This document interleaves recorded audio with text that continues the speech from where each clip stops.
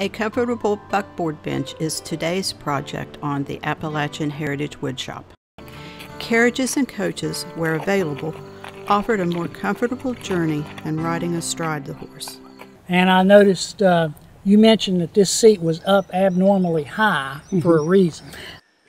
So, the first thing you need to get is the radius of the spring. The second thing you need to get is the distance from the apex of the spring down to the chord where the overlaying springs end. So now you can see that the spring will set down on the board the way it should.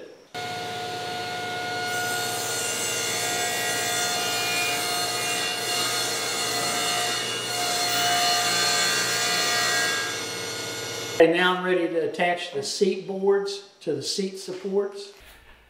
Now that I've got the arm supports installed, now I'm ready to install the arm.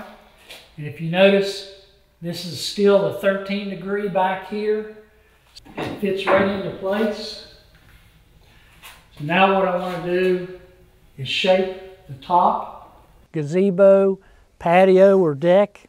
It's very comfortable set in and it's a nice place to sit and enjoy an afternoon. If